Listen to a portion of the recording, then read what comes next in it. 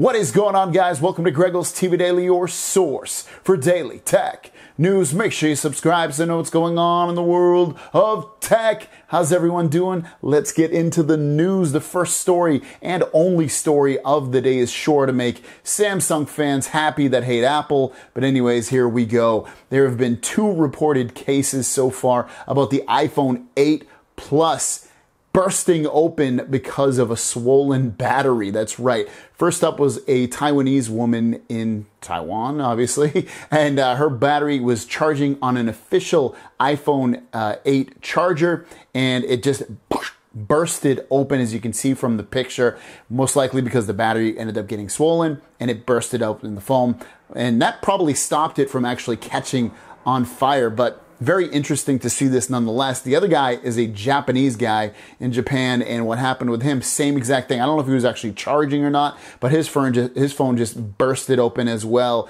apart at the seams. And uh, this is obviously big news for Apple and uh, kind of a bad thing going on, but ultimately it's not that uncommon when you deal with lithium ion batteries. This stuff tends to happen, them being so volatile they can, you know, burst and catch on fire, just as we saw last year with the Galaxy Note 7. And it looks like the iPhone 8 Plus even though it's only two cases, is going through a similar thing right now. Uh, we'll see if it ends up becoming more widespread. But right now, Apple is taking these customers' uh, uh, issues in hand. They've got the phones in hand. I know they got the Taiwanese woman's phone. I don't know if they have the Japanese guys yet, but uh, we'll see what ends up happening. This if more cases come around or not. But I know uh, it's going to make some people happy, some people upset. But ultimately, it's the news, guys. And iPhone 8 plus two cases of bur- bursting batteries uh, or bursting phones open because of the battery. Guys, thanks for watching. Don't forget to subscribe. New videos every single day.